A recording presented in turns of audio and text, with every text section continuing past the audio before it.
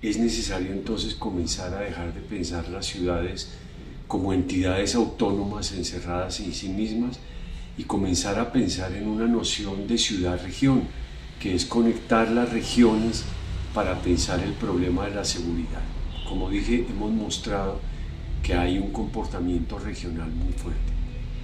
La segunda cosa, en Colombia hemos reducido las categorías para pensar el problema del conflicto y las hemos reducido al conflicto armado. El resultado de eso es que tenemos un conocimiento muy precario de lo que pasa dentro de las ciudades. Y se hace necesario incorporar la ciudad a la paz. Incorporar a la ciudad a la paz significa hay que reivindicar el derecho de la ciudad a la paz. Cuando pensamos que la paz debe pasar por un proceso de reconstruir tejidos sociales, pensamos siempre en los sectores rurales, porque asociamos la guerra a los sectores rurales. Y resulta que hemos mostrado que en las ciudades se producen más homicidios que en el campo. Es necesario entonces reconectar la ciudad al proceso de la paz frente a una paz que ha sido pensada siempre con un enorme sesgo rural y nos toca entonces ahora repensar la paz en función de las ciudades. Los resultados del plebiscito de octubre del 2016 están conectados, entre otras cosas, al hecho de que en las ciudades se piensa que no hay conflicto, que el problema del conflicto es un problema de la guerra que está fuera de la ciudad y resulta, como lo dije ahora, que en la ciudad se producen más homicidios. Y lo tercero, lo que me parece más definitivo, el problema de la seguridad en las ciudades tiene que ser enfrentado mediante la construcción de grandes pactos por la equidad en las ciudades. El problema de la inseguridad y el problema del crimen está asociado a un país con unos niveles de inequidad extrema.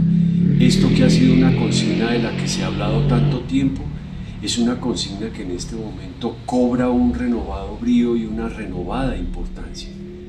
Bogotá en particular es una ciudad que ya pasó por la experiencia de construir un proyecto de ciudad alrededor de la cultura ciudadana y los efectos de eso en materia de seguridad fueron enormes porque Bogotá es la ciudad que comprimió el homicidio de manera más impresionante y lo hizo de una forma que no volvió a tener nunca otra vez sobresaltos en los, niveles de homicidio como sí ha sucedido en todas las ciudades del resto del país.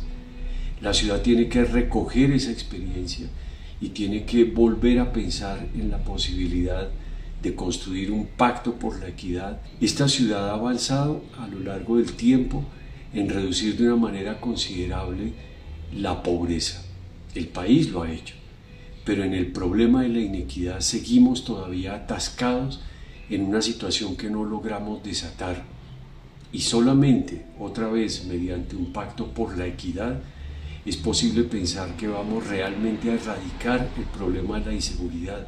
El problema de la inseguridad no es un problema de más cámaras y más policías y más patrullas y más equipos y más helicópteros. Eso indudablemente hay que hacerlo.